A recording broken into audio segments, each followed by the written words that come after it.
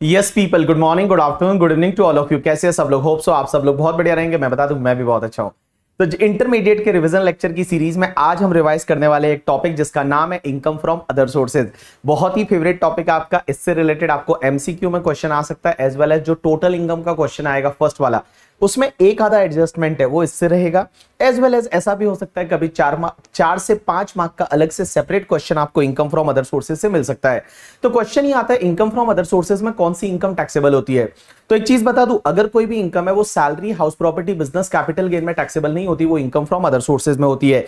अब एक बात समझना कौन कौन सी income income from other sources में टैक्सेबल होती है? तो जैसे यहाँ पे कुछ एग्जाम्पल्स दे रखे हैं, जैसे आपका डिविडेंड का इनकम है winning from lottery puzzles card game का इनकम है as well as the interest on the security जैसे आपके पास कोई डिबेंचर बॉन्ड है, उसका आपको इंटरेस्ट मिलता है तो वो इंटरेस्ट भी अदर सोर्सेज में टैक्सेबल होता है. लेकिन अगर वो सिक्योरिटी स्टॉक इन ट्रेड है तो वो वाला इंटरेस्ट है, वो आपके पीजीबीपी हेड में टैक्सेबल हो जाएगा. उसके साथ साथ में अगर आप प्लांटेड मशीनरी फर्नीचर किसी को लेट आउट करते हैं, और प्लांटेड मशीनरी फर्नीचर का लेट आउट करने का आपका बिज़नेस नहीं है तो वो वाला रेंट है, वो इनकम फ्रॉम अदर सोर्सेज में जाएगा. एज वेल एज अगर हाउस प्रॉपर्टी है, उसके आप ओनर हो, और आपको रेंट मिल रहा है तो तो वो हाउस प्रॉपर्टी में जाता है। अदरवाइज़ हाउस प्रॉपर्टी अगर आपने सबलेट कर दिया और उससे जो रेंट मिलता है that is taxable under income from other sources उसके साथ साथ में, अगर मान लो कीमैन इंश्योरेंस पॉलिसी से आपको कोई पैसा मिलता है और अगर आप एम्प्लॉय नहीं हो, अगर आप एम्प्लॉय हो और कीमैन इंश्योरेंस पॉलिसी से पैसा मिलता है तो वो सैलरी हेड में जाता है। अगर आप बिजनेसमैन हो तो वो पीजीबीपी हेड में जाता है। अगर मान लो सैलरी पीजीबीपी में नहीं जा रहा है तो कीमैन इंश्योरेंस पॉलिसी से जो भी पैसा मिलेगा, वो इनकम फ्रॉम अदर सोर्सेज में जाएगा। एज वेल एज एक चीज़ ध्यान रखना अगर आपका कोई भी कंपनसेशन मिलता है कंपलसरी एक्विजिशन ऑफ़ प्रॉपर्टी पे और लेट कंपनसेशन मिलता है तो कंपनसेशन तो कैपिटल गेन में जाता है, लेकिन लेट कंपनसेशन पे जो इंटरेस्ट मिलेगा that interest is taxable under income from other sources वो इनकम फ्रॉम अदर सोर्सेज में चला जाएगा। उसके साथ साथ में अगर आपको फैमिली पेंशन का पैसा मिलता है फैमिली पेंशन क्या होता है कि किसी पर्सन की डेथ के बाद उसके घर वालों को जो पेंशन मिलती है that is called family pension तो फैमिली पेंशन में कुछ भी पैसा मिलता है taxable under income from other sources उसके बाद में अगर आपने कोई बैंक में एफडी कराया बैंक बैंक में आपका अकाउंट है, उससे इंटरेस्ट मिलता है, किसी को लोन दिया, उसका जो इंटरेस्ट मिलेगा, या फिर आपको इनकम टैक्स रिफंड पे इंटरेस्ट मिलता है that is taxable under income from other sources royalty का इनकम है एग्रीकल्चर इनकम है director sitting fees as well as salary of MP MLA MLC है, वो आपके लिए अदर सोर्सेज में टैक्सेबल हो जाता है। अब एक बात समझना, सबसे मेजर इंपॉर्टेंट पार्ट आता है यहाँ पे that is taxation of gift sir gift के केस में कैसे टैक्स लगेगा? तो हमेशा ध्यान रखना, अगर कोई एम्प्लॉय को एम्प्लॉयर से गिफ्ट मिलता है एम्प्लॉय को एम्प्लॉयड से गिफ्ट मिलता है then that gift is always taxable under the head salary अगर वो मनी में मिला तो पूरा टैक्सेबल कर दो, लेकिन अगर वो इन काइंड है और लेस देन फाइव थाउज़ेंड है तो तो एग्ज़ाम होता है, लेकिन फाइव थाउज़ेंड या उससे ज़्यादा है then it is taxable under the head salary salary में टैक्सेबल होता है। उसके बाद में अगर आपको कोई भी गिफ्ट है बेनिफिट है परक्यूजिट है, जो बिज़नेस या प्रोफेशन की वजह से मिल जाता है, आप बिज़नेस करते हो प्रोफेशन करते हो डेटर से क्रेडिटर से, आपके कस्टमर से, आपके क्लाइंट से, आपको अगर कोई गिफ्ट मिलता है then it is taxable under the head PGBP वो आपके पीजीबीपी में टैक्सेबल हो जाता है। लेकिन बाकी वाले गिफ्ट का क्या होगा? तो बाकी जो गिफ्ट है वो इनकम फ्रॉम अदर सोर्सेज में आते हैं और इनकम फ्रॉम अदर सोर्सेज में एक सेक्शन आती है 56 टू टेन करके। सेक्शन 56 टू टेन क्या बोलती है? कि अगर आपको किसी से गिफ्ट मिलता है, किसी भी पर्सन से गिफ्ट मिलता है या कोई असेट है, वो आप एक्वायर करते हो लो कंसिडरेशन से। तो यहाँ पे सेक्शन 56 टू 10 लगती है और ये 56 टू 10 है, वो कब से एप्लीकेबल है? फ़र्स्ट अप्रैल 2017 से। सो फ़र्स्ट अप्रैल 2017 से ये सेक्शन है। अब एक बात समझना, ये सेक्शन क्या बोलती है? ये सेक्शन बोलती है कि अगर मान लो आप मिस्टर आईडी हटला आईटीसी में आते हो और आपको कोई गिफ्ट मिला तो तो सेक्शन 56 टू 10 लगेगा ही नहीं और वो पूरा एग्जेम्प्ट हो जाएगा, आपके हाथ में टैक्सेबल नहीं होगा। अगर आप क्या हो, मिस्टर आईडी हटला आईटीसी में आते हो। अब आप बोलोगे, मिस्टर आईडी हटला आईटीसी का मतलब क्या होता है? तो मिस्टर आईडी हटला आईटीसी मींस अगर आपको कोई भी गिफ्ट है, आपकी मैरिज पे मिलता है। या फिर आर का मतलब आपको अपने रिलेटिव से मिलता है। आई का मतलब आपको इनहेरिटेंस में मिलता है डी का मतलब इन कंटेम्पलेशन ऑफ़ डेथ मिलता है मीन डेथ के टाइम पे जो पर्सन रहता है ना, वो किसी को गिफ्ट करता है।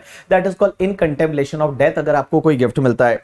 या फिर आपको किसी हॉस्पिटल या मेडिकल इंस्टीट्यूशन से मिलता है, या किसी यूनिवर्सिटी एजुकेशनल इंस्टीट्यूशन से मिलता है, या फिर फ्रॉम और बाय एनी ट्रस्ट को मिलता है। मीन जो चैरिटेबल रिलीजियस ट्रस्ट जो एनजीओ होते हैं एनजीओ को गिफ्ट मिलता है या एनजीओ से आपको गिफ्ट मिलता है तो उस पर टैक्स नहीं लगेगा। एज वेल एज अगर आपको किसी लोकल अथॉरिटी से मिलता है तो भी टैक्स नहीं लगेगा। अब एक और चीज़ समझना, अगर कोई इंडिविजुअल है और वो इंडिविजुअल ने किसी ट्रस्ट को गिफ्ट दिया प्राइवेट ट्रस्ट को, और वो ट्रस्ट उस इंडिविजुअल के रिलेटिव के बेनिफिट के लिए बनाया गया है मैंने क्या बोला कि अगर कोई इंडिविजुअल है, उसने एक प्राइवेट ट्रस्ट बनाया और उस ट्रस्ट को गिफ्ट किया और वो ट्रस्ट उस इंडिविजुअल के रिलेटिव के बेनिफिट के लिए बनाया गया है तो उस पर्टिकुलर केस में उस ट्रस्ट के हाथ में भी कोई भी टैक्स गिफ्ट पे नहीं लगेगा। उसके बाद टी का मतलब होता है कि देखो, यहाँ पे ऊपर क्या लिखा था कि आपको किसी हॉस्पिटल से मिला यूनिवर्सिटी से मिला ट्रस्ट से मिला तो टैक्स नहीं लगेगा। लेकिन अगर हॉस्पिटल को मिला यूनिवर्सिटी को मिला ट्रस्ट को मिला, जो कि सेक्शन टेन सी में रजिस्टर्ड होते हैं तो उस पर भी टैक्स कोई भी नहीं लगता। अब और चीज़ समझना, अपन ने सेक्शन 47 जो कि कैपिटल गेन में था, वहाँ पे कुछ ऐसे ट्रांजेक्शन पड़े थे जिसपे टैक्स नहीं लगता। जैसे एचयूएफ का पार्टीशन हो जाता है और मेंबर को असेट मिल जाती है। या फिर 100 परसेंट होल्डिंग सब्सिडरी के बीच में अगर असेट ट्रांसफ़र होती है, या अमलगमेशन डीमर्जर होता है तो उस पर कोई भी टैक्स ट्रांसफ़र के हाथ में नहीं लगता। लेकिन क्वेश्चन ये आता है कि रिसीवर के हाथ में क्या आईएफओएस में टैक्स लगेगा? आंसर इज़ नो रिसीवर के हाथ में भी आईएफओएस में टैक्स नहीं लगेगा। तो ये तुम्हारे मिस्टर आईटी हटला आईटीसी में आएगा। तो देखिए, मैंने क्या बोला? समझने की कोशिश करना।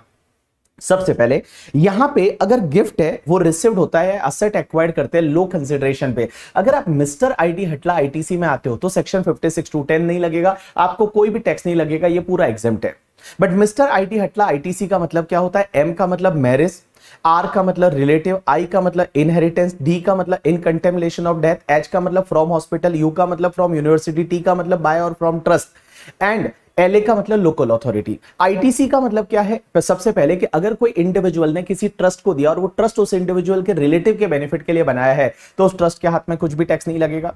टी का मतलब होता है रिसीव्ड बाय द ट्रस्ट या कोई हॉस्पिटल यूनिवर्सिटी वगैरह एंड सी का मतलब certain transaction which is not regarded as transfer अपन ने वहाँ पढ़े थे, इसमें कुछ ट्रांजेक्शन ही कवर है कौन कौन से? या तो एच का पार्टीशन हो गया असेट मेंबर को मिल गई तो मेंबर के हाथ में कोई टैक्स नहीं लगेगा।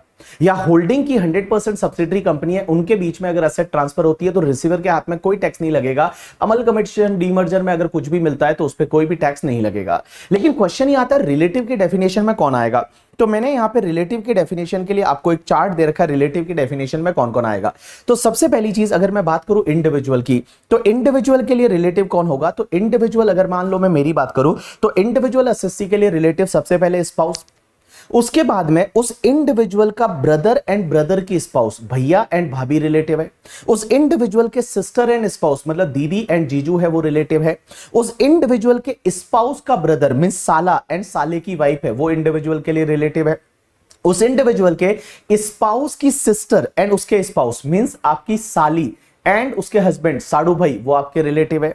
उस इंडिविजुअल के मदर फादर है पेरेंट्स है, वो इंडिविजुअल के रिलेटिव है। एंड मदर फादर के ब्रदर सिस्टर एंड उनके स्पाउस अगर आप मदर के ब्रदर में देखोगे तो मामा, मामी, मदर की सिस्टर में देखोगे तो मासी मासा जी फादर के ब्रदर में देखोगे तो अंकल, आंटी एंड फादर की सिस्टर में देखोगे तो भुआ फूफा जी वो आपके रिलेटिव माने जाएँगे। एंड इस इंडिविजुअल के जो लीनियल असेंडेंट होते हैं, दादाजी दादी जी नाना जी नानी जी परदादा, परदादी, परनाना, परनानी, अगर वो ज़िंदा है तो वो भी रिलेटिव है। एंड इस इंडिविजुअल के स्पाउस के मदर फादर मीन आपके जो सास, ससुर है, वो भी आपके रिलेटिव है। और इंडिविजुअल के स्पाउस के जो लीनियल असेंडेंट है मीन्स वाइफ के दादा, दादी, नाना, नानी, परदादा, परदादी, परनाना, परनानी अगर ज़िंदा है तो वो रिलेटिव है। एंड इन दोनों की मेहनत।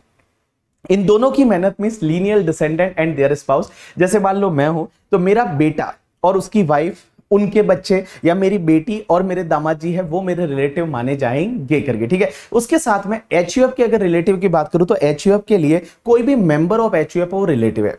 यहाँ पे एक चीज़ ध्यान रखना, आप अगर अपने रिलेटिव से आपको कोई भी गिफ्ट मिलता है तो उस पर टैक्स नहीं लगेगा। एक और चीज़ समझना, ऐसा हो सकता है कि कोई पर्सन है, वो आपका रिलेटिव है, लेकिन आप उसके लिए रिलेटिव नहीं हो। जैसे एग्ज़ाम्पल के लिए अंकल एक बात समझिए, मेरे लिए मेरे अंकल जो है, वो रिलेटिव है। क्योंकि मेरे फादर के भाई अंकल रिलेटिव है, लेकिन अंकल के लिए मैं रिलेटिव नहीं हूँ। क्योंकि अंकल जब एसएससी बन जाते हैं तो अंकल के ब्रदर में मेरे पापा तो आएँगे बट उनके बच्चे जो मैं हूँ, मैं उनके लिए रिलेटिव नहीं हूँ। यू गॉट माई पॉइंट और नॉट यस तो देखिए, मैंने आपको क्या बोला? अगर आपको कोई भी असेट गिफ्ट में मिलती है या आपको कोई असेट वगैरह लो कंसिडरेशन पे मिलता है, कोई पैसा मिलता है, आप अगर मिस्टर आईडी हटला आईटीसी में आते हो तो सेक्शन 56 टू 10 नहीं लगेगा, आपको कोई भी टैक्स नहीं लगेगा। लेकिन आप समझना मिस्टर आईडी हटला आईटीसी में नहीं आते तो क्या होगा? सबसे पहले अगर आपको मनी गिफ्ट में मिला मनी का मतलब होता है पैसा कैश या बैंक में पैसा मिला एफडी मिला दैट इज़ कॉल्ड मनी अगर आपको मनी गिफ्ट में मिलता है एंड एग्रीगेट मनी पूरे साल का मिला के अगर फिफ्टी थाउज़ेंड से ज़्यादा है then it is fully taxable aggregate money का मतलब क्या होता है? मुझे twenty thousand twenty thousand twenty thousand twenty thousand चार लोगों से मिला। Individual is not more than fifty thousand but aggregate is eighty thousand it is more than fifty thousand so total eighty thousand मेरे हाथ में टैक्सेबल हो जाएगा under income from other sources में टैक्सेबल हो जाएगा। लेकिन मनी नहीं मिलता। अगर आपको गिफ्ट में कुछ मूवेबल प्रॉपर्टी मिलती है बट एक चीज़ ध्यान रखना movable property covered only ten asset सिर्फ़ यही दस असेट है जो मूवेबल असेट में कवर होती है। कौन कौन सी? Share security jewellery drawing painting sculpture archaeological collection any other work of art bullion and virtual digital asset virtual digital asset का मतलब होता है क्रिप्टो करेंसी तो क्या बोला मैंने? Share security jewellery drawing painting sculpture archaeological collection any other work of art bullion and bullion and virtual digital asset अगर आपको ये टेन असेट गिफ्ट में मिला एंड अगर आपको गिफ्ट में मिला गिफ्ट में मिला और एग्रीगेट एफ़ एम से ज़्यादा है एग्रीगेट फेयर मार्केट वैल्यू अगर फिफ्टी थाउज़ेंड से ज़्यादा है then it is fully taxable या फिर अगर आप ये असेट लो कंसिडरेशन से एक्वायर करते हो and aggregate FMV minus consideration का डिफरेंस 50,000 से ज़्यादा है एग्रीगेट एफएमबी माइनस कंसिडरेशन का डिफरेंस अगर 50,000 से ज़्यादा है तो वो डिफरेंस आपके लिए इनकम फ्रॉम अदर सोर्सेज में टैक्सेबल हो जाएगा। एक और चीज़ ध्यान रखना अगर आपको कार गिफ्ट में मिली टैक्सेबल नहीं होगा। मोबाइल फ़ोन गिफ्ट में मिला आईफोन गिफ्ट में मिला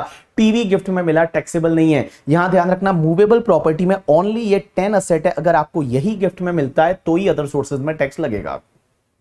ये दस असेट कौन कौन सी है? Share security jewellery drawing painting sculpture archaeological collection any other work of art bullion and virtual digital asset इनको छोड़ के कोई भी असेट जैसे कार है बाइक है मोबाइल फ़ोन है, ये आपको गिफ्ट में मिलता है तो उस पर कोई टैक्स नहीं लगेगा। उसके बाद में अगर आपको इमूवेबल प्रॉपर्टी कोई मिलता है इमूवेबल प्रॉपर्टी का मतलब होता है या तो लैंड मिलता है बिल्डिंग मिलता है या लैंड एंड बिल्डिंग मिलता है। अगर ये इमूवेबल प्रॉपर्टी आपको गिफ्ट में मिला मीन विदाउट कंसिडरेशन मिला, और विदाउट कंसिडरेशन मिला, और यहाँ पे पर प्रॉपर्टी स्टेम ड्यूटी वैल्यू अगर फिफ्टी थाउज़ेंड से ज़्यादा है then it is fully taxable तो इमूवेबल प्रॉपर्टी आपको गिफ्ट में मिलता है और per property stamp duty value more than fifty thousand है then it is fully taxable अब एक और चीज़ समझना, अगर आपको इमूवेबल प्रॉपर्टी लो कंसिडरेशन पे मिलता है मीन आप इमूवेबल प्रॉपर्टी लो कंसिडरेशन पे खरीद रहे हो।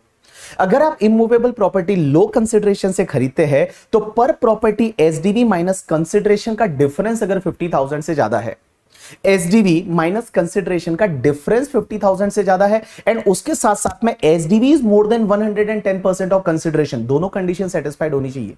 पहली कंडीशन एसडीवी माइनस कंसिडरेशन का difference is more than 50,000 and second condition is SDV is more than 110 percent of consideration अगर ये दोनों कंडीशन सेटिस्फाइड हो जाती है तो एसडीवी और कंसिडरेशन का जो डिफरेंस रहेगा ना वो डिफरेंस आपके लिए इनकम फ्रॉम अदर सोर्सेज में टैक्सेबल हो जाएगा। तो देखिए अगर मैंने कोई इमूवेबल प्रॉपर्टी गिफ्ट में मिली तो तो पर प्रॉपर्टी एस डी फिफ्टी से ज़्यादा है फुल्ली टैक्सेबल कर दो। अगर मैंने कोई इमूवेबल प्रॉपर्टी लो कंसिडरेशन से एक्वायर की लो कंसिडरेशन से खरीदी, अगर मैंने लो कंसिडरेशन से खरीदी तो उस केस में क्या होगा कि बेटा, दो कंडीशन पहली condition S D minus consideration का डिफरेंस फिफ्टी थाउज़ेंड से ज़्यादा होना चाहिए and second condition S D is more than one hundred and ten percent of consideration then difference between S D and consideration is taxable in hands of the buyer buyer के हाथ में वो taxable हो जाएगा। अब एक और चीज़ समझना। मैंने आपको बोला कि आपको अगर मनी वगैरह गिफ्ट में मिलता है और वो फिफ्टी थाउज़ेंड से ज़्यादा है तो वो फुल्ली टैक्सेबल हो जाता है। लेकिन गाइज़ इसका एक एक्सेप्शन है। ये एक्सेप्शन आया था कोविड के टाइम पे। जब कोविड हुआ था तो आपको पता रहेगा बहुत बार बहुत सारे लोगों के पास पैसे नहीं थे और लोगों ने ट्रीटमेंट के लिए डोनेशन किया था मीन कुल मिला के आपको गिफ्ट मिला था। तो कुल मिला के आपको गिफ्ट मिला था और वो जो गिफ्ट मिला था क्वेश्चन ये आता है, क्या वो टैक्सेबल होगा या नहीं होगा? तो यहाँ पे सेक्शन 56 टू 10 है, वो नहीं लगेगी दो केसेस में। सबसे पहला, अगर आपको पैसा मिल रहा है किसी इंडिविजुअल को, किसी भी पर्सन से मिला है for expenditure actually incurred on treatment of Covid 19 related illness of him और एनी फैमिली मेंबर जैसे मान लो फॉर एन एग्ज़ाम्पल मेरे को किसी से डोनेशन मिला गिफ्ट मिला, और कितना भी अमाउंट हो, और वो पैसा मैंने कोविड से रिलेटेड ट्रीटमेंट के लिए खर्च किया है, मेरे या मेरे फैमिली मेंबर के। यहाँ पे फैमिली मेंबर में कौन कौन आएगा? स्पाउस है चिल्ड्रन है and dependent relative dependent relative में मदर फादर ब्रदर सिस्टर में से। तो spouse children and dependent relative mother father brother sister उनके ट्रीटमेंट के लिए मैंने वो पैसा खर्च कर दिया तो भले मुझे वो डोनेशन मिला था गिफ्ट मिला था, मेरे हाथ में वो टैक्सेबल नहीं है। तो देखो, सबसे पहली चीज़, अगर कोविड रिलेटेड इलनेस के लिए ट्रीटमेंट के लिए खर्चा किया, या तो एसएससी का इंडिविजुअल के, खुद के लिए, या उसके रिलेटिव के लिए, और वो पैसा किसी से आपको एज अ डोनेशन मिला था तो उस पर्टिकुलर केस में वो एग्ज़ाम हो जाएगा, उस पर कोई भी टैक्स नहीं लगेगा। एंड दूसरा क्या है कि अगर मान लो किसी फैमिली मेंबर को पैसा मिलता है जिस पर्सन की डेथ हो गई है, उसके फैमिली मेंबर को पैसा मिलता है within twelve month of the death and death is due to the Covid nineteen illness आपने देखा होगा बहुत बार कि कोविड में क्या हुआ था? लोगों की डेथ हो गई थी। तो डेथ हो गई तो उनके फैमिली मेंबर को बहुत सारे लोग आगे आए और उन्होंने हेल्प की। तो जब हेल्प करने के लिए लोगों ने उनको पैसा दिया गिफ्ट दिया तो क्वेश्चन ही आता है कि क्या ये टैक्सेबल होगा? आंसर इज़ नो बट यहाँ पे कुछ कंडीशन है। तो मैंने क्या बोला? किसी पर्सन की डेथ हो गई और उसके फैमिली मेंबर को मिल रहा है। और पैसा मिल रहा है within twelve month of the death death हो गया, उसके ट्वेल्व मंथ के अंदर अंदर मिल रहा है। पैसा किससे मिल रहा है? पैसा अगर जो पर्सन की डेथ हुई, उसके एम्प्लॉयर से मिल रहा है तो कितना भी मिला, वो पूरा एग्ज़ाम है। जैसे पर्सन है, मान लो, एक राजू करके, और राजू की डेथ हो गई, उसके फैमिली मेंबर को राजू के एम्प्लॉयर से पैसा मिला तो कितना भी मिला, वो चलेगा। लेकिन किसी दूसरे लोगों से मिल रहा है तो उसमें लिमिट है टेन लैख की टेन लाख रुपीज़ तक मिला तो तो एग्ज़ाम है। टेन लाख के ऊपर मिला तो टेन लाख के ऊपर वाला यहाँ पे टैक्सेबल हो जाएगा। लेकिन उसमें एक और कंडीशन यह है कि जब वो कोविड पॉजिटिव हुआ, उसके छह महीने के अंदर अंदर डेथ होनी चाहिए। कोविड से रिलेटेड उसका ट्रीटमेंट हो रहा है पॉजिटिव हुआ, उसके छह महीने के अंदर अंदर डेथ होनी चाहिए तो जो भी पैसा मिलेगा, वो एग्ज़ाम हो जाएगा। ये वाला कॉन्सेप्ट यहाँ पे लगेगा। चलिए, उसके बाद में अपन आगे चलते हैं और सबसे इंटरेस्टिंग पार्ट ये आता है कि, सर, एक बात बताओ, जैसे आपने 50 सी में पढ़ाया था कि अगर कोई भी एसएससी एसडीबी से सेटिस्फाइड नहीं है तो वो अपना केस वैल्यूएशन ऑफिसर को ट्रांसफ़र करा सकता है। वैल्यूएशन ऑफिसर वैल्यू बढ़ा देता है तो इग्नोर करो, कम करता है तो ले लो। क्या ये कॉन्सेप्ट 56 टू 10 में भी लगेगा? आंसर इज़ यस लगेगा। मीन आपने कोई प्रॉपर्टी अगर लो कंसिडरेशन पे खरीदी है, और मैं क्या बोल रहा हूँ? लो कंसिडरेशन पे प्रॉपर्टी खरीदते हो, एसडीबी माइनस कंसिडरेशन का डिफरेंस 50 से ज़्यादा है and SDV is more than 110% of consideration तो एसडीबी और कंसिडरेशन का डिफरेंस पे आईएफओएस में टैक्स लगता है।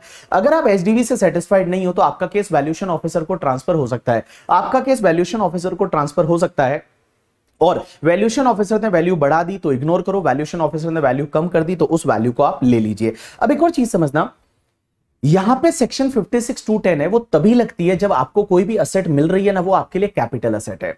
अगर आपके लिए जो असेट मिल रही है गिफ्ट में या लो कंसिडरेशन पे खरीद रहे हो, वो स्टॉक इन ट्रेड है तो सेक्शन 56 टू 10 में टैक्स नहीं लगता। इसका मैंने लॉजिक वगैरह है, वो आपको regular batch fast track batch में दे रखा है कि अगर आप कोई भी असेट है, वो एक्वायर करते हो लो कंसिडरेशन पे, या फिर आपको गिफ्ट में मिलती है, वो आपके लिए स्टॉक इन ट्रेड है। तो यहाँ पे 56 टू 10 में टैक्स नहीं लगता, वो कैपिटल असेट है तो सेक्शन 56 टू 10 में टैक्स लगेगा। एक और चीज़ समझना, बहुत बार क्या होता है, आपको कोई असेट गिफ्ट में मिली या फिर आप कोई असेट लो कंसिडरेशन पे खरीद रहे हो और आपने आईएफओएस में टैक्स भर दिया ऑन द एसडीवी या फिर एफएमवी पे आपने आईएफओएस में टैक्स भर दिया तो ध्यान रखना जिस एसडीवी या एफएमवी पे आप टैक्स भरते हो, वही तुम्हारी कॉस्ट ऑफ़ एक्विजिशन बन जाएगी। तो फ्यूचर में जब उस असेट को बेचोगे तो जिस वैल्यू पे आपने टैक्स भरा था, जो एफएमवी एसडीवी पे टैक्स भरा था, वो आपकी कॉस्ट ऑफ़ एक्विजिशन बन जाएगी। तो मैंने आपको याद रहेगा, मैंने आपको ये बताया था, जैसे मान लो मेरी वाइफ से मुझे कोई असेट गिफ्ट में मिली तो तो मेरे हाथ में आईएफओएस में टैक्स नहीं लगा, क्योंकि रिलेटिव से गिफ्ट मिला। तो मेरे लिए कॉस्ट क्या होती है? Cost to previous owner period of holding previous owner indexation भी प्रीवियस ओनर से। लेकिन अगर मान लो मेरे को आपने कोई असेट गिफ्ट की और मेरे हाथ में आईएफओएस में टैक्स लग गया तो आईएफओएस में जिस एसडीबी या एफएमबी पे टैक्स लगा है, वही मेरी कॉस्ट ऑफ़ एक्विजिशन बन जाएगी। अब एक और चीज़ समझना। क्वेश्चन ये आता है, सर, ये एसडीबी जो लेते हैं बार बार आप एसडीबी की बात कर रहे हो, ये एसडीबी लेते कौन सी डेट का है? आईएफओएस में ये एसडीवी कौन सी डेट का लेंगे? क्या डेट ऑफ़ अग्रीमेंट का लेंगे या डेट ऑफ़ रजिस्ट्रेशन का लेंगे? तो लॉ मेकर्स बोलते हैं कि नॉर्मली तो देखो रजिस्ट्रेशन की डेट का लेना चाहिए।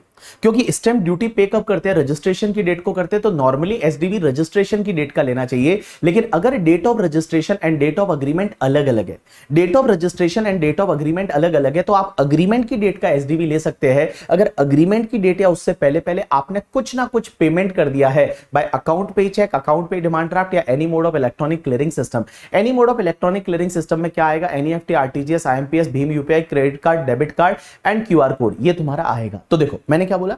नॉर्मली रजिस्ट्रेशन की डेट का एसडीवी लेना, लेकिन date of registration date of agreement अलग अलग है। तो आप अग्रीमेंट की डेट का एसडीवी ले सकते हैं। अगर अग्रीमेंट की डेट या उससे पहले पहले आपने कुछ ना कुछ पेमेंट कर दिया है by account payee cheque account payee demand draft या any mode of electronic clearing system done तो यहाँ पे सेक्शन 56 टू 10 का डिस्कशन खत्म हो जाता है। अब अपन पढ़ेंगे, एक सेक्शन होती है 43 सीए ये सेक्शन पीजीबीपी की सेक्शन है बट इसको पढ़ते यहाँ पे। ये सेक्शन है ना, वो एग्जैक्ट रेप्लिका है सेक्शन 50 सी की, जो कि कैपिटल गेन में पढ़ा था। सेक्शन 50 सी क्या बोलता था? कि अगर आप इमूवेबल प्रॉपर्टी ट्रांसफ़र करते हो एंड अगर आपका एसडीवी कंसिडरेशन के 110 परसेंट से ज़्यादा है तो SDV full value of consideration capital gain में माना जाता था। सेम ऐसे का ऐसे ये वाला सेक्शन जो है, ये पीजीबीपी के लिए है, इसका मतलब ये सेक्शन बिल्डर के लिए है। ये सेक्शन बोलता है कि अगर आपका कोई इमूवेबल प्रॉपर्टी है और वो immovable property stock in trade है और इमूवेबल प्रॉपर्टी आप अगर ट्रांसफ़र कर देते हो और इमूवेबल प्रॉपर्टी का एसडीवी कंसिडरेशन के 110 परसेंट से ज़्यादा है। इमूवेबल प्रॉपर्टी का जो एसडीवी है वो कंसिडरेशन के 110 परसेंट से ज़्यादा है। तो जो भी एसडीवी रहेगा, वही आपका फुल वैल्यू ऑफ़ कंसिडरेशन रहेगा फॉर कंप्यूटिंग द पीजीबीपी का इनकम जैसे एक बिल्डर है। बिल्डर ने क्या किया? एक फ्लैट बेचा, उसका कंसिडरेशन है, वो फिफ्टी लाख है। लेकिन एसडीवी है वो सेवेंटी लाख है तो यहाँ पे पीजीबीपी का इनकम निकालने के लिए एसडीवी सेवेंटी लाख है, वो सेल वैल्यू लेना पड़ेगा। अब एक और चीज़ समझना, अगर बिल्डर एसडीवी से सेटिस्फाइड नहीं है तो क्या उसका केस वैल्यूशन ऑफिसर को ट्रांसफ़र हो सकता है? बिल्कुल हो सकता है वैल्यूशन ऑफिसर को ट्रांसफ़र हो सकता है। वैल्यूशन ऑफिसर ने वैल्यू कम कर दी तो कम वाली ले बढ़ा दी तो वैल्यूशन ऑफिसर की वैल्यू को इग्नोर कर दो। यहाँ पे क्वेश्चन ये आता है कि, सर, कौन सी डेट का एसडीवी लेना? तो सेम वही concept normally date of registration but date of registration date of agreement अलग अलग है तो आप अग्रीमेंट की डेट का एसडीवी ले सकते हैं। अग्रीमेंट की डेट या उससे पहले पहले आपको कुछ ना कुछ उस बिल्डर को पैसा मिल गया हो by account payee cheque account payee demand draft any mode of electronic clearing system through bank account और एनी और any other electronic mode electronic mode का मतलब होता है आपका debit card credit card NEFT RTGS IMPS Bhim UPI and QR code उसके बाद में एक सेक्शन आती है 56 टू 7 बी करके। ये सेक्शन ये बोलती है, पहली चीज़ तो ये सेक्शन क्लोजली हेल्ड कंपनी पे लगती है अनलिस्टेड कंपनी अगर अनलिस्टेड कंपनी क्या करती है, अपने शेयर इशू कर रही है प्रीमियम पे। मीन्स अगर कोई शेयर है, उसका फेस वैल्यू जो है, वो मान लो टेन रुपीज़ है। उसकी अगर आप फेयर मार्केट वैल्यू देखो, वो फिफ्टीन रुपीज़ है। मीन्स उसकी औकात है, वो फिफ्टीन रुपीज़ की है। लेकिन वो कंपनी क्या करती है? वो शेयर को इश्यू करती है हंड्रेड रुपीज़ पे। जैसे स्टार्टअप वगैरह ऐसा करते हैं। कि शेयर को इश्यू किया हंड्रेड रुपीज़ पे किया तो देखिए, यहाँ पे शेयर जो इश्यू हो रहा है, वो प्रीमियम पे हो रहा है। Answer is yes share issue हो रहा है, वो प्रीमियम पे हो रहा है। तो जब शेयर प्रीमियम पे इशू हो रहा है इशू प्राइस है, वो प्रीमियम है, आपके फेस वैल्यू से ज़्यादा है तो लॉ मेकर्स बोलते हैं कि जो इशू प्राइस और एफ़ का डिफरेंस रहेगा ना issue price minus fair market value of that share ये एटी फाइव रुपीज़ है, ये कंपनी के हाथ में इनकम फ्रॉम अदर सोर्सेज में टैक्सेबल हो जाएगा। तो ये सेक्शन क्या बोलती है कि अगर कोई क्लोजली हेल्ड कंपनी है, वो अपने शेयर प्रीमियम पे इशू करती है तो issue price minus fair market value का डिफरेंस है that is taxable under income from other sources अब एक और सेक्शन होती है that is the section 56 two 11 करके। ये सेक्शन ये बोलती है कि अगर मान लो आपका कोई जॉब था और जॉब का कोई टर्मिनेशन हो जाता है। अब एक बात समझना जॉब का टर्मिनेशन हो जाता है, जैसे रिटायरमेंट वगैरह टर्मिनेट हो जाता है तो टर्मिनेट होता है और आपको कुछ पैसा मिलता है तो एम्प्लॉयड से मिलता है तो तो सैलरी में टैक्सेबल होगा। लेकिन आपने, आपको कहीं और से पैसा मिलता है then it is taxable under income from other sources जैसे मान लो एक बंदा है उसका जॉब था। उसने जॉब का इंश्योरेंस कराया। अब मान लो जॉब का इंश्योरेंस कराया कि भाई जॉब ना चली जाए और मान लो जॉब चली गई। तो जॉब चली गई तो इंश्योरेंस कंपनी उसको टर्मिनेशन पे कुछ भी पैसा देगी। That is taxable under income from other sources वो इनकम फ्रॉम अदर सोर्सेज में टैक्सेबल हो जाएगा। अब एक बात समझना, एक सेक्शन होती है फिफ्टी वो बोलती है कि कुछ खर्चों का डिडक्शन आपको अदर सोर्सेज में मिलेगा। पहली चीज़ तो अगर आप ध्यान रखना डिविडेंड की जो इनकम है ना and income from UTI mutual fund की जो इनकम होती है तो यूटीआई म्यूचुअल फंड से जो इनकम मिलती है, या फिर आपको शेयर्स पे डिविडेंड मिलता है, वो डिविडेंड के सामने और income from UTI mutual fund उसके सामने आपको एक ही खर्चे का डिडक्शन मिलेगा इंटरेस्ट का, जो आपने लोन लिया था इन्वेस्ट करने के लिए शेयर्स में या यूटीआई म्यूचुअल फंड में। और किसी भी खर्चे का डिडक्शन नहीं मिलेगा। और वो डिडक्शन भी कितना मिलेगा? Up to 20 percent of the dividend और income from UTI mutual fund जैसे मैं एक एग्जांपल लेता हूँ। मैंने क्या किया? मान लो आईटी के आईटीसी एक कंपनी है, उसके शेयर में इन्वेस्ट किया। उससे मुझे वन लाख रुपीज़ का डिविडेंड मिला। लेकिन पैसा जो मैंने लाया था इन्वेस्ट करने के लिए, वो मैंने लोन लिया था। तो मैंने लोन लिया, उसका इंटरेस्ट मान लो थर्टी थाउज़ेंड है। तो मेरे को डिविडेंड मिला वन लाख है। इंटरेस्ट है वो थर्टी थाउज़ेंड क्या पूरा थर्टी थाउज़ेंड लेस कर सकता हूँ? ना बाबू। Up to twenty percent of the dividend तो डिविडेंड का ट्वेंटी परसेंट ट्वेंटी थाउज़ेंड होगा। तो बेटा एटी थाउज़ेंड मेरा नेट डिविडेंड है, वो टैक्सेबल हो जाएगा। अब एक और चीज़ समझना।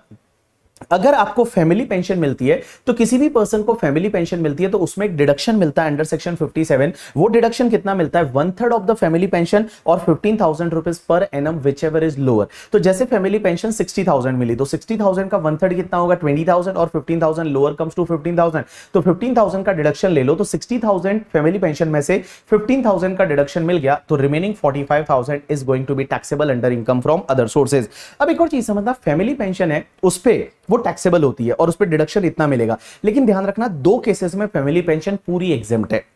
एक तो अपने जितने भी जो आर्म फोर्सेस के एम्प्लॉय होते हैं मीन जो अपने आर्मी के जो लोग हैं आर्मी के जो ऑफिसर है इंक्लूडिंग पैरामिलिट्री फोर्सेस के जो एम्प्लॉय रहते हैं, वो अपने सेना के जो जवान है, वो हमारे लिए लड़ते हैं। अब उनका अगर उनमें से कोई भी शहीद हो जाता है और शहीद होने के बाद उनके घर वालों को लीगल हेयर को अगर कोई भी पेंशन मिलती है तो वो पूरी एग्ज़ाम है, उस पर कोई भी टैक्स नहीं लगेगा। एंड दूसरा, अगर कोई भी पर्सन ऐसा है, जो कि सेंट्रल गवर्नमेंट स्टेट गवर्नमेंट की सर्विस में था एंड उसको वीर चक्र मिला था परमवीर चक्र मिला था या महावीर चक्र मिला था और उसकी डेथ के बाद उसके घर वालों को अगर कोई भी फैमिली पेंशन मिलती है तो उस पर कोई भी टैक्स नहीं लगेगा वो पूरा एग्जेम हो जाएगा। अब एक और चीज़ समझना अगर आपको लेट कंपनसेशन मिलता है कंपलसरी एक्विजिशन पे और उस पे इंटरेस्ट मिलता है तो interest is taxable under income from other sources in the year in which that interest is received and ध्यान रखना यहाँ पे 50% का स्टैंडर्ड डिडक्शन मिलता है। तो इंटरेस्ट जैसे आपको 50,000 मिला तो आपको यहाँ सिर्फ़ 25,000 है वो टैक्सेबल हो जाएगा। अब एक और चीज़ समझना, बाकी जितने भी खर्चे हैं, अगर कोई अदर सोर्सेज की इनकम कमा रहे हो और उससे रिलेटेड कोई भी खर्चे है तो उसका डिडक्शन मिल जाएगा। आंसर इज़ यस उसका डिडक्शन आपको मिल जाएगा। अब एक चीज़ समझना इनकम फ्रॉम अदर सोर्सेज में कुछ ऐसे खर्चे हैं जिसका डिडक्शन आपको नहीं मिलेगा। पहला तो आपके कोई पर्सनल एक्सपेंसेस है उसका डिडक्शन नहीं मिलेगा। या इंडिया के बाहर आपने कोई भी सैलरी का पेमेंट किया इंटरेस्ट का पेमेंट किया और अगर उसका टीडीएस आपने नहीं काटा तो आपको खर्चे का डिडक्शन नहीं मिलेगा। आप सिंगल डे में सिंगल पर्सन को टेन थाउज़ेंड से ज़्यादा का पेमेंट करते हो कैश में तो उसका डिडक्शन आपको नहीं मिलेगा। या फिर आपने रेजिडेंट को पे किया, उसका टीडीएस नहीं काटा तो आपको थर्टी परसेंट खर्चा डिसअलाउड हो जाएगा। और जो कैजुअल इनकम होती है विनिंग्स वगैरह लॉटरी वगैरह, उसके सामने कोई भी खर्चे का डिडक्शन आपको नहीं मिलता। अब एक बात समझना, यहाँ पर मैंने कुछ एग्जेम्प्ट इनकम का ज़िक्र कर रखा है कि कुछ इनकम ऐसी है, जो पूरी एग्जेम्प्ट होती है, उस पर कोई भी टैक्स नहीं लगता है। सबसे पहला तो एक सेक्शन होती है टेन सब सेक्शन नहीं बोलते टेन के साथ में जो लिखा होता है, उसको क्लॉज बोलते हैं। तो section ten clause four sub clause two करके वो ये बोलता है कि अगर मान लो कोई भी पर्सन है, कोई भी पर्सन है, उसका अगर एनआरई अकाउंट है एनआरई अकाउंट का मतलब होता है नॉन रेजिडेंट एक्सटर्नल अकाउंट और ये एनआरई अकाउंट है, वो इंडिविजुअल है, वो मान लो नॉन रेजिडेंट है as per the RBI means as per the like RBI उसको परमिट कर रखा है और वो एज पर आरबीआई फेमा के रूल के हिसाब से वो बंदा नॉन रेजिडेंट है और उसने एनआरई अकाउंट रखा है नॉन रेजिडेंट एक्सटर्नल अकाउंट रखा है और तो उस अकाउंट पे जो भी इंटरेस्ट आएगा ना, वो इंटरेस्ट पूरा टैक्स फ्री है। उस इंटरेस्ट पे कोई भी टैक्स नहीं लगता, वो इंटरेस्ट पूरा टैक्स फ्री है। दूसरा सेक्शन ये बोलता है कि अगर मान लो कोई भी ऐसा डिजास्टर हो जाए और डिजास्टर के टाइम पे किसी इंडिविजुअल को या उसके लीगल हेयर को कोई भी कंपनसेशन मिलता है central government state government local authority से तो उस पर्टिकुलर केस में वो पूरा एग्जाम्प्ट है। एग्ज़ाम्पल के लिए मान लो बाढ़ आ गई। एग्ज़ाम्पल के लिए मान लो सुनामी आ गई करके, ठीक है? एग्ज़ाम्पल के लिए बहुत ज़्यादा हैवी रेन हो गई और उसकी वजह से कोई भी इसको अपन बोल सकते हैं डिजास्टर करके। और डिजास्टर की वजह से कोई गवर्नमेंट आपको पता रहेगा कंपनसेशन देती है। तो गवर्नमेंट जो कंपनसेशन देगी, वो पूरा एग्ज़ाम है, उस पर कोई भी टैक्स नहीं लगेगा। सेक्शन टेन सिक्सटीन ये बोलती है कि अगर आपको कोई स्कॉलरशिप मिलती है और वो स्कॉलरशिप आपके एजुकेशन से रिलेटेड है एजुकेशनल स्कॉलरशिप है तो वो पूरा एग्ज़ाम है, उस पर कोई भी टैक्स नहीं लगेगा। उसके साथ साथ में जो एम एमपी एमएलए होते हैं, उनको आपको पता रहेगा जो डेली अलाउंस और कॉन्स्टिट्यूंसी अलाउंस मिलता है, वो पूरा एग्जाम्ट है। तो डेली अलाउंस और कॉन्स्टिट्यूंसी अलाउंस मिलता है, वो एग्जाम्ट है सैलरी मिलता है, वो टैक्सेबल होगा अदर सोर्सेज में। But daily allowance and constituency allowance पूरा एग्जाम्ट है। सेक्शन टेन सेवेंटीन ए ये बोलता है कि अगर मान लो कोई भी आपको अवार्ड मिलता है अवार्ड का मतलब आपको गवर्नमेंट से कोई अवार्ड मिलता है कैश में या इन काइंड में, वो पूरा एग्जाम्ट है अगर गवर्नमेंट से मिला है तो। एग्ज़ाम्पल के लिए जो भारत रत्न मिलता है, या फिर ऐसे कोई गैलेंट्रीली अवार्ड वगैरह मिलते हैं तो वो पूरे एग्जाम्ट है, उस पर कोई भी टैक्स नहीं लगेगा, भले उसमें पैसा मिल रहा है तो भी टैक्स नहीं लगेगा। उसके साथ में आपका post office saving bank account है तो ध्यान रखना post office saving bank account पे आपको जो इंटरेस्ट मिलता है, वो एग्जाम्ट है। एग्ज़ाम कितना है? अगर आपका सिंगल नाम पे post office saving bank account है तो हर साल आपको 3500 in case of the single individual account के केस में 3500 तक का इंटरेस्ट एग्जाम्ट है। एंड गाइस अगर जॉइंट अकाउंट है तो 7000 in case of joint account है, वो एग्जाम्ट है ड्यू टू सेक्शन 1015 अब एक और चीज़ समझना पीपीएफ का जो इंटरेस्ट होता है ना पब्लिक प्रोविडेंट फंड का इंटरेस्ट वो भी एग्जाम्ट है, उस पर कोई टैक्स नहीं लगता। एक बात बताओ, मैंने यहाँ पे आपको पोस्ट ऑफ़िस सेविंग बैंक की बात की तो पोस्ट ऑफ़िस सेविंग बैंक के केस में एक चीज़ याद रखना। देखो पोस्ट ऑफ़िस सेविंग बैंक का आपको इंटरेस्ट मिलता है, जैसे फॉर एन एग्ज़ाम्पल मुझे ट्वेंटी थाउज़ेंड का इंटरेस्ट मिला। तो ट्वेंटी थाउज़ेंड में से पहले तो थ्री थाउज़ेंड फाइव हंड्रेड का एग्जामेशन ले लूँगा यहाँ पे अदर सोर्सेज में। रिमेनिंग इंटरेस्ट कितना बचा? सिक्सटीन थाउज़ेंड फाइव हंड्रेड अब मैं टीटीए में डिडक्शन और ले लूँगा टेन थाउज़ेंड का। तो टेन थाउज़ेंड का डिडक्शन मुझे एटी टीटीए में मिलेगा अंडर द डिडक्शन टॉपिक करके। चलिए, उसके बाद में कॉन्सेप्ट आता है डिविडेंड एंड डिम डिविडेंड अब डिविडेंड जो है देखो, तीन तरह की कंपनी होती है। एक होती है इंडियन कंपनी एक होती है फॉरेन कंपनी एक होती है डोमेस्टिक कंपनी इंडियन कंपनी किसको बोलते हैं? जो इंडिया में इनकॉर्पोरेट हुई है, वो इंडियन कंपनी फॉरेन कंपनी किसको बोलेंगे? जो फॉरेन में इनकॉर्पोरेट हुई है, उसको फॉरेन कंपनी डोमेस्टिक कंपनी किसको बोलते हैं? All Indian companies are domestic companies मतलब जितनी भी तुम्हारी इंडियन कंपनीज़ है, वो सब डोमेस्टिक कंपनी है, लेकिन एक ध्यान रखना फॉरेन कंपनी भी डोमेस्टिक कंपनी बन जाएगी। अगर फॉरेन कंपनी ने इंडिया में कोई प्रिस्क्राइब अरेंजमेंट किए हैं डिविडेंड डिस्ट्रीब्यूशन के, वो प्रिस्क्राइब अरेंजमेंट क्या होते हैं? जैसे इंडिया में उनको शेयर होल्डर रजिस्टर रखना पड़ता है। इंडिया में ही उनको डिविडेंड देना पड़ता है करके, ठीक है? तो ऐसे कुछ प्रिस्क्राइब अरेंजमेंट है तो फॉरेन कंपनी अगर इंडिया में ऐसे प्रिस्क्राइब अरेंजमेंट कर लेती है तो वो भी तुम्हारी डोमेस्टिक कंपनी की कैटेगरी में आ जाएगी। अब देखो डिविडेंड टैक्सेबल कब होता है? तो मैं बता दू डिविडेंड है वो शेयर होल्डर के हाथ में टैक्सेबल होगा, कौन से ईयर में होगा? तो देखो फाइनल डिविडेंड जो होता है ना, वो तो टैक्सेबल उस ईयर में होता है, जिस ईयर में वो एजीएम में डिक्लेयर होता है। तो एनुअल जनरल मीटिंग में जिस ईयर में कंपनी ने डिक्लेयर किया, उस ईयर में शेयर होल्डर के हाथ में वो टैक्सेबल हो जाएगा। लेकिन जो डीम डिविडेंट होता है, वो जिस ईयर में डिस्ट्रीब्यूट किया जाता है पेड किया जाता है, उस ईयर में टैक्सेबल होगा। एंड इंट्रीम डिविडेंट है, जिस ईयर में रिसिव्ड होता है शेयर होल्डर को, उस ईयर में टैक्सेबल हो जाएगा। अब एक बात समझना डिविडेंट के साथ साथ में कुछ डीम डिविडेंट भी होते हैं। डीम डिविडेंट क्या होता है, जो देख के लगता है कि ये डिविडेंड नहीं है बट ये डिविडेंट माना जाएगा। सबसे पहला, अगर 222 ए की बात कर रहा हूँ 222 ए ए फोर असेट याद रखोगे। अगर कोई कंपनी क्या करती है अपने शेयर होल्डर को असेट दे देती है डिविडेंड की जगह असेट दे देती है। तो असेट दे देती है तो वो भी डीम डिविडेंड माना जाएगा to the extent accumulated profit of the company whether capitalised or not जैसे फॉर एन एग्जांपल एक कंपनी है, उसने क्या किया कि लाइक टेन लाख की असेट दे दी और उसका एट लाख का एक्यूमुलेटेड प्रॉफिट है। मीन उनका reserve and surplus eight lakh है। तो ये एट लाख रुपीज़ है, वो डीम डिविडेंड माना जाएगा शेयर होल्डर के हाथ में and it is taxable under income from other sources तो टू ए क्या बोलती है कि अगर कोई कंपनी अपने शेयर होल्डर को क्या करती है असेट दे देती है तो वो असेट डीम डिविडेंड माना जाएगा। असेट की फेयर मार्केट वैल्यू है, वो डीम डिविडेंड माना जाएगा but to the extent accumulated profit of the company whether capitalise or not लेकिन एक चीज़ ध्यान रखना, अगर मान लो कोई भी कंपनी है, वो बोनस शेयर देती है तो बोनस शेयर देती है तो उसमें शेयर होल्डर को कुछ फ़ायदा नहीं होता है। तो बोनस शेयर अगर इक्विटी शेयर होल्डर को देते हैं तो उसमें कोई असेट डिस्ट्रीब्यूट थोड़ी होती है तो उसको डीम डिविडेंड नहीं माना जाएगा। सेक्शन टू बी बी क्या बोलती है बताए? कि अगर कोई कंपनी प्रिफरेंस शेयर होल्डर को बोनस शेयर देती है, एक बात बताओ इक्विटी शेयर होल्डर को बोनस शेयर दिया तो कोई फ़ायदा नहीं है? लेकिन प्रेफरेंस शेयर होल्डर को बोनस शेयर दिया तो फ़ायदा होगा। तो प्रेफरेंस शेयर होल्डर को या तो बोनस शेयर देती है प्रेफरेंस शेयर होल्डर को बोनस शेयर देती है। या किसी भी शेयर होल्डर को इक्विटी या प्रेफरेंस शेयर होल्डर को डिबेंचर डिबेंचर स्टॉक या डिपोजिट सर्टिफिकेट देती है तो वो डीम डिविडेंड माना जाएगा to the extent accumulated profit of the company उसके बाद एक सेक्शन होती है 222 सी 222 सी क्या बोलती है? सी का ऐसे याद रखोगे close down of the company अगर कोई कंपनी लिक्विडेशन में जाती है और लिक्विडेशन के टाइम पे उसका जितना रिज़र्व एंड सरप्लस है और वो क्या करती है? असेट बांटती है शेयर होल्डर को। तो शेयर होल्डर के हाथ में वो डीम डिविडेंड माना जाएगा to the extent accumulated profit of the company तो कंपनी लिक्विडेट हो गई, उन्होंने शेयर होल्डर को असेट है वो ट्वेंटी लाख की बांटी और उनका रिज़र्व एंड सरप्लस मान लो फिफ्टीन लाख था तो फिफ्टीन लाख है वो शेयर होल्डर के हाथ में डीम डिविडेंड माना जाएगा टैक्सेबल होगा under income from other sources next section two twenty two D two twenty two D का ऐसे याद रखोगे कि डिक्रीज इन शेयर कैपिटल बहुत बार कंपनी क्या करती है कि एक शेयर की फेस वैल्यू है वो मान लो टेन था अब उन्होंने क्या किया? वो शेयर का फेस वैल्यू दो रुपया ला लिया और आठ रुपया शेयर होल्डर को डिस्ट्रीब्यूट कर दिया। तो डिक्रीज इन शेयर कैपिटल में शेयर कैपिटल को आप रिड्यूस करके और अगर शेयर होल्डर को कुछ पेमेंट कर देते हो तो वो डीम डिविडेंड माना जाएगा शेयर होल्डर के हाथ में to the extent accumulated profit of the company अब एक बात समझना डीम डिविडेंड की लास्ट सेक्शन होती है 222 ई e, और 222 ई e सबसे इंटरेस्टिंग और ये आपको ध्यान देने की सेक्शन है। तो देखो अब क्वेश्चन ये आता है कि यहाँ पे 222 ई e जो है एंड 222 एबीसीडी उसमें कुछ फ़र्क है। 222 D and two twenty two E में कुछ डिफरेंसेस है। पहला डिफरेंस तो यह है कि two twenty two A B C D जो अपन ने अभी डिस्कस किया that is applicable to all companies all company में प्राइवेट कंपनी पब्लिक कंपनी सबके लिए है। लिस्टेड अनलिस्टेड सबके लिए। लेकिन टू 222 E वाली जो सेक्शन है ना, वो सिर्फ़ क्लोजली हेल्ड कंपनी के लिए है। दूसरी चीज़ 222 एबीसीडी में जहाँ पे लिखा हुआ है कि जो अमाउंट दे रहे हो वो डीम डिविडेंड माना जाएगा to the extent accumulated profit of the company whether capitalise or not whether capitalise or not का मतलब होता है कि अगर मान लो आपने क्या किया कि कोई बोनस शेयर पहले इशू कर दिए तो आपका रिज़र्व एंड सरप्लस तो खत्म हो गया। लेकिन जो बोनस शेयर इशू किया, वो भी आपका रिज़र्व एंड सरप्लस ही माना जाएगा। उसको एक्यूमुलेटेड प्रॉफिट में लेंगे और भैया, वो डीम डिविडेंड के लिए कंसिडर होगा रिज़र्व एंड सरप्लस में, भले आपका वो बोनस शेयर है रिज़र्व एंड सरप्लस में बचा नहीं आपने उसको कैपिटलाइज कर दिया बट तो भी उसको रिज़र्व एंड सरप्लस में लेंगे for the purpose of 222 ABCD but 222 E के लिए ऐसा नहीं है 222 ई के लिए सिर्फ़ वर्ड यूज़ हुआ है एक्यूमुलेटेड प्रॉफिट करके, ठीक है? अब एक और चीज़ समझना, जब भी हम एक्यूमुलेटेड प्रॉफिट की बात करते हैं तो एक्यूमुलेटेड प्रॉफिट का मतलब इनकम टैक्स के हिसाब से नहीं कंपनीज़ एक्ट के हिसाब से।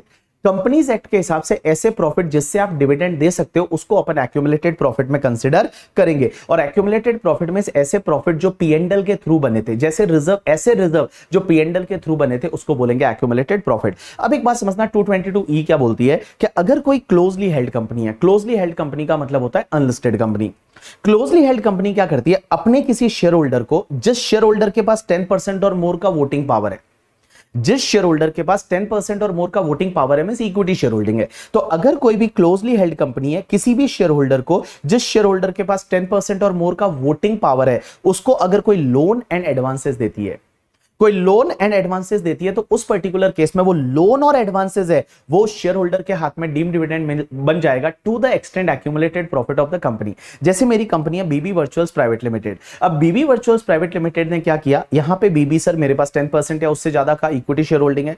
मुझे अगर उन्होंने क्या किया? लोन दिया तो मेरे हाथ में वो लोन डीम डिविडेंड माना जाएगा to the extent accumulated profit of the company अब एक चीज़ समझना, दूसरा पॉइंट अगर मान लो, ये क्लोजली हेल्ड कंपनी है, इसने लोन और एडवांसेस किसी कंपनी फर्म एओपीबीआई को दिया, किसी कंसर्न को दिया, और उस कंसर्न में इस शेयर होल्डर का सब्सटेंशियल इंटरेस्ट है at any time during the previous year substantial interest का मतलब होता है कि इस कंसर्न में अगर इस शेयर होल्डर का 20 परसेंट और मोर का इक्विटी शेयर होल्डिंग है, या 20 परसेंट और मोर का पीएसआर है तो उसको बोलेंगे सब्सटेंशियल इंटरेस्ट तो उस पर्टिकुलर केस में भी वो शेयर होल्डर के हाथ में डीम डिविडेंड माना जाएगा.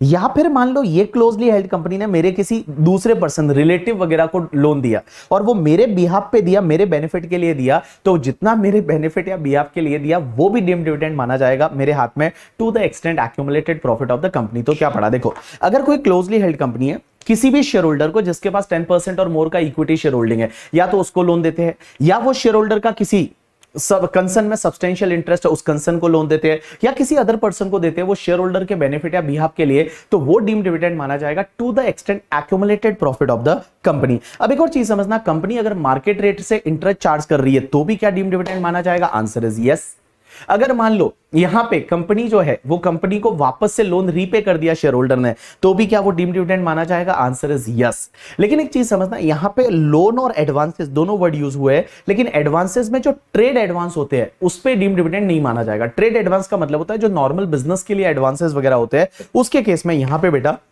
डीम डिविडेंड है, वो नहीं माना जाएगा। अब एक चीज़ समझना, एक और सेक्शन होती है सेक्शन 222 में ही लिखा हुआ है 222 में लिखा हुआ है कि कुछ चीज़ें ऐसी होती है जो आपका डिविडेंड या डीम डिविडेंड नहीं मानी जाएगी। पहली चीज़ तो अगर मान लो कोई कंपनी ऐसी है जो अपने शेयर होल्डर को लोन देती है और वो कंपनी का काम ही लोन देना है। Means company is into the money lending का बिज़नेस और मनी लेंडिंग के बिज़नेस में है और ऑर्डनरी कोर्स ऑफ़ बिज़नेस में अगर वो कंपनी लोन दे रही है तो उस पर्टिकुलर केस में वो डीम डिविडेंड नहीं माना जाएगा। मीन कंपनी का काम ही मनी लेंडिंग का है and ordinary course of business में अगर वो लोन दे रही है शेयर होल्डर को तो वो डीम डिविडेंड नहीं माना जाएगा। दूसरी चीज़, अगर मान लो फॉर एन एग्जांपल कंपनी ने क्या किया? पहले लोन दिया था और वो डीम डिविडेंड माना जा चुका है। अब कंपनी क्या कर रही है? एक्चुअल में डिविडेंड दे रही है और एक्चुअल डिविडेंड को उस लोन से एडजस्ट कर रही है। उस लोन से सेट ऑफ़ कर रही है। एक्चुअल डिविडेंड को उस लोन से एडजस्ट कर रही है, उस लोन से सेट ऑफ़ कर रही है तो जितना सेट ऑफ़ हो रहा है ना, वो डिविडेंड नहीं माना जाएगा। उसके बाद में गाइज़ अगर मान लो आपका बायबैक ऑफ़ द शेयर है तो वो डिविडेंड डिम डिविडेंड नहीं है। एक और चीज़ समझना, अगर मान लो जब डीमर्जर होता है, और डीमर्जर के केस में क्या होता है कि जो पुरानी कंपनी होती है डीमर्ज कंपनी उसके शेयर होल्डर को resulting company free of cost share देती है। तो रिजल्टिंग कंपनी जो फ्री ऑफ़ कॉस्ट शेयर दे रही है, वो डिविडेंड डिम डिविडेंड नहीं माना जाएगा। एंड लास्ट पॉइंट 222 सी और 222 डी जो हमने पढ़ा close down of the company and 222 D हमने पढ़ा reduction in the share capital 222 C and 222 D है, वो प्रेफरेंस शेयर होल्डर के केस में नहीं लगेगा। तो लिक्विडेशन के टाइम पे अगर प्रेफरेंस शेयर होल्डर को कोई भी पैसा दिया असेट दिया, या फिर मान लो डिक्रीज इन शेयर कैपिटल करके प्रेफरेंस शेयर होल्डर को कुछ दिया तो 222 सी 222 डी है, वो नहीं लगेगा। अब एक और चीज़ समझना अगर कोई भी एसएससी ऐसा है individual H AOP artificial juridical person वो 115 बीएससी लेता है तो उसको दो बेनिफिट नहीं मिलेंगे अदर सोर्सेज में। एक तो आपको पता रहेगा, जो मैंने अभी बताया था कि एमपी एमएलए होते हैं, उनको क्या होता है कि जो डेली और कॉन्स्टिट्यूंसी अलाउंस का एग्जामेशन मिलता है वो एग्जामेशन नहीं मिलेगा। और दूसरा, जब भी अपन क्लबिंग में देखेंगे कि जब भी पेरेंट्स के हाथ में माइनर की इनकम जाती है ना तो माइनर के हाथ में, जब माइनर की इनकम पेरेंट्स के हाथ में जाती है तो पेरेंट्स को हर बच्चे का फिफ्टीन पर एनम ठीक है पर एनम का एक एग्जामेशन मिलता है। जैसे मान लो मेरे बच्चे का इनकम मेरे हाथ में एड हो रहा है ट्वेंटी थाउज़ेंड तो उसमें से फिफ्टीन हंड्रेड का एग्जामेशन मिल जाएगा under section ten thirty two का and only eighteen thousand five hundred taxable होगा बट ये एग्जामेशन नहीं मिलेगा। अगर मैं one one five B S C लेता हूँ तो one one five B S C लूँगा तो ये बेनिफिट नहीं मिलेगा। अब एक बात समझना अदर सोर्सेज में एक छोटा सा अमेंडमेंट और है करके ठीक है? अब आप बोलोगे कहाँ पे उसका फ़ाइल मिलेगा? तो उसकी फ़ाइल के लिए आपको कुछ नहीं करना, सीधा जाना है हमारी वेबसाइट पे और हमारी वेबसाइट का नाम है बीबी तो जब आप बीबी पे जाते हैं, वहाँ पे आप फ्री रिसोर्सेज में चले जाइए। फ्री रिसोर्सेज में यहाँ पे डाल रखा है CA inter amendment corrigendum of the compact May November 2024 तो यहाँ पे एक तो वो सैलरी वाला जो अमेंडमेंट है, जो मैंने उस रिविजन लेक्चर में भी नहीं कराया, यहाँ से आपको करना है सैलरी वाला करके ठीक है? अब एक चीज़ समझना सैलरी के बाद में यहाँ पे अदर सोर्सेज में कुछ अमेंडमेंट है जो मैं आपको यहाँ पे कराने वाला हूँ। देखो अदर सोर्सेज के अमेंडमेंट में यह है कि नॉर्मली क्या होता है लाइफ इंश्योरेंस पॉलिसी का जो पैसा आपको मिलता है ना लाइफ इंश्योरेंस पॉलिसी जीवन बीमा करके, ठीक है? तो लाइफ इंश्योरेंस पॉलिसी का जो मैच्योरिटी रहता है, जो पैसा आपको मिलता है, वो पूरा एग्जाम्प्ट होता है, उस पर कोई भी टैक्स नहीं लगता due to section ten ten D से पूरा एग्जाम्प्ट है। लेकिन गाइस ध्यान रखना, तीन केसेस में वो टैक्सेबल है। कौन कौन से केसेस में टैक्सेबल है? सबसे पहला तो अगर आपको कीमेन इंश्योरेंस पॉलिसी का कोई भी पैसा मिलता है तो टैक्सेबल है। कीमेन इंश्योरेंस पॉलिसी का कोई भी पैसा मिलेगा, वो टैक्सेबल है। दूसरा, अगर आपको कीमेन इंश्योरेंस पॉलिसी छोड़ो, अगर आपकी नॉर्मल इंश्योरेंस पॉलिसी है, लेकिन जब आपने प्रीमियम पे किया था, और प्रीमियम पे करते टाइम अगर आपने 20 percent ten percent fifteen percent की लिमिट क्रॉस की थी, आप बोलोगे लिमिट कहाँ दे रखा है? ये डिडक्शन टॉपिक में दे रखा है ना एटीसी में। एटीसी में एक लिमिट है, पता है? कि अगर आपने कोई policy one four two thousand आपने कोई policy one four two thousand twelve से पहले ले रखी है तो जो भी तुम्हारा प्रीमियम पे करते हो और पॉलिसी वैल्यू का ट्वेंटी परसेंट का एक लिमिट लगता है। उतना ही उस पर डिडक्शन मिलता है। अब अगर मान लो ये ट्वेंटी परसेंट की लिमिट क्रॉस कर दी तो मैच्योरिटी फिर टैक्सेबल हो जाएगी। दूसरा पॉइंट अगर मान लो आप policy one four two thousand twelve के बाद में लेते हैं तो वहाँ लिमिट टेन परसेंट की रहती है और policy one four two thousand thirteen के बाद में अगर किसी हैंडीकैप के लिए लेते हैं, या कोई पर्सन ऐसा जो स्पेसिफाइड डिज़ीज़ से ग्रसित है, उसके लिए लेते हैं तो वहाँ पे लिमिट फिफ्टीन परसेंट की होती है। अगर आप ये पॉलिसी जो प्रीमियम पे करते हैं प्रीमियम की लिमिट को अगर आपने क्रॉस कर दिया तो फिर मैच्योरिटी अमाउंट है, वो आपके लिए टैक्सेबल होगा। अब एक और इंटरेस्टिंग चीज़ इन्होंने इस साल से डाली है और दिस इज़ इंटरेस्टिंग ये अमेंडमेंट है। लॉ में और आपका आरटीपी का जो पहला क्वेश्चन है वो इसी पे है। अब एक बात समझना लॉ मेकर्स ये बोलते हैं कि अगर आपने कोई लाइफ इंश्योरेंस पॉलिसी लिया प्रीमियम पे कर रहे हो, वो भी विद इन द लिमिट है। Mean ten percent twenty percent fifteen percent की लिमिट के अंदर है। लेकिन अगर आपने policy one four two thousand twenty three के बाद में ली है one four two thousand twenty three date को याद रखना पड़ेगा। First April two thousand twenty three या उसके बाद में पॉलिसी ली और किसी भी साल में आपका प्रीमियम फाइव लैख से ज़्यादा है। किसी भी साल में आपका प्रीमियम है, वो फाइव लैख से ज़्यादा है तो फिर मेच्योरिटी टैक्सेबल हो जाएगी। प्रीमियम है, वो फाइव लैख से ज़्यादा है तो मेच्योरिटी टैक्सेबल हो जाएगी। तो मान लो मैंने क्या किया, इस साल में 23 24 में एक पॉलिसी लिया और उसका premium seven lakh per annum है। तो मेच्योरिटी होगा, वो टैक्सेबल है फिर मैच्योरिटी टैक्सेबल है। अब एक और चीज़ समझना, आपने क्या किया वन फोर टू या उसके बाद में आपने मल्टीपल पॉलिसी ले ली। मैंने मान लो for an example four policies ले ली और हर पॉलिसी का premium three lakh three lakh three lakh three lakh three lakh ऐसा है। तो टोटल प्रीमियम देखोगे तो ट्वेल्व लैख हो गया, लेकिन मैं तो बोलूँगा इंडिविजुअल पॉलिसी का प्रीमियम थोड़े ही पाँच लाख से ज़्यादा है।